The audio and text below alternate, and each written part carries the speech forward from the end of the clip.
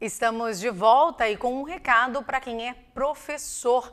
É que a Secretaria Estadual da Educação está com processo seletivo aberto para contratação temporária de professores. As inscrições começam nesta terça-feira através do site www.seleção.es.gov.br.